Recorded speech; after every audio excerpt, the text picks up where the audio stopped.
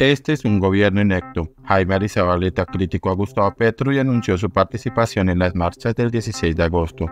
Por medio de sus redes sociales, el abogado caleño lanzó duras declaraciones en contra del mandatario. Jaime Arizabaleta, o también llamado por algunos el Bukele colombiano, manifestó que hará parte de las próximas marchas en contra del gobierno Gustavo Petro el 16 de agosto y aprovechó su anuncio para realizar algunas críticas al mandatario. Es importante resaltar que Arizabaleta era uno de los precandidatos a la alcaldía de Cali, pero recientemente desistió de sus aspiraciones.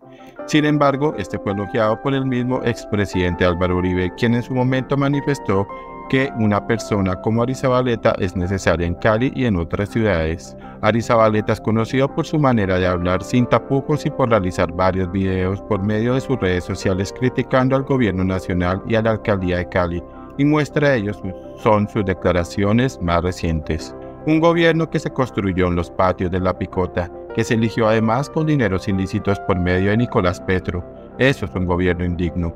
Un gobierno que no persigue a los criminales, que aumentaron las masacres y los secuestros en un 90%, que permite que asesinen a mansalva a los héroes de la patria en todos los rincones de la geografía, mientras sostienen en la cabeza del Ministerio de la Defensa un inecto, como lo es Iván Velázquez, aseveró a Zabaleta al inicio de su video. Este material audiovisual fue compartido por las redes sociales del ex aspirante a la alcaldía de Cali, en donde además tildó al actual gobierno nacional de ser un narcogobierno. Es un gobierno cómplice, un gobierno que persigue la prensa, es acosador, un gobierno cuya cabeza mantiene infiestada y quién sabe qué más es inecto.